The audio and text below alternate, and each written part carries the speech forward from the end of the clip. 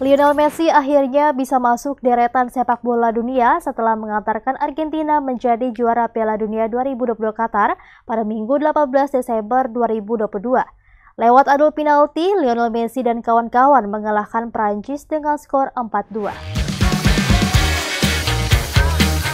Sementara dalam pertandingan hingga waktu tambahan, Argentina versus Prancis imbang dengan skor akhir 3-3.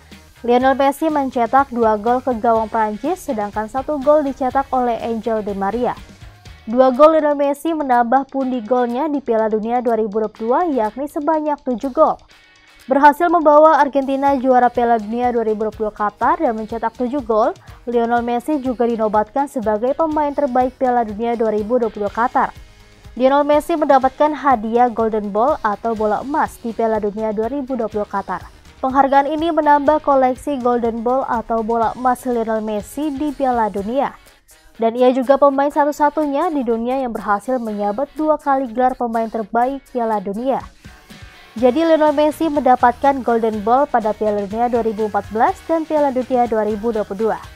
Sementara Argentina hingga saat ini sudah meraih tiga kali gelar juara Piala Dunia, yakni Piala Dunia 1978, 1986, dan 2022. Hasil ini juga melengkapi prestasi Lionel Messi di dunia sepak bola. Lionel Messi juga mensejajarkan dirinya bersama legenda sepak bola dunia yakni Pele sebagai pencetak gol terbanyak di Piala Dunia. Total selama ikut bersama timnas Argentina di Piala Dunia, Lionel Messi sudah mencetak 12 gol. Ia juga masih berpeluang melebihi 12 golnya bila ikut di Piala Dunia 2026 mendatang. Sedangkan Prancis gagal mempertahankan dua kali berturut juara Piala Dunia. Sebelumnya Prancis juara Piala Dunia 2018 di Rusia, kali ini Prancis gagal karena dikalahkan oleh Argentina. Namun penyerang Prancis Kylian Mbappe menoreh prestasi yang luar biasa di Piala Dunia 2020 Qatar. Selama Piala Dunia 2022, Mbappe telah mencetak 8 gol dan menjadikannya top skor atau pencetak gol terbanyak Piala Dunia 2022.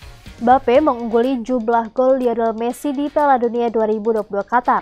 Tak hanya itu saja, Mbappe telah memecahkan rekor gol yang dicetak oleh legenda sepak bola asal Brazil Pele. Di mana selama di Piala Dunia, Pele mencetak 12 gol sama dengan Lionel Messi. Sedangkan Mbappe total golnya di Piala Dunia sudah mencapai 13 gol. Pada Piala Dunia 2018, Kylian Mbappe mencetak 5 gol, Mbappe bahkan masih bisa memecahkan rekor tersebut bila ia ikut di Piala Dunia 2026 mendatang. Untuk berita selengkapnya, teman-teman bisa langsung cek di website Bangkapos di bangkapos.com dan postberita.co.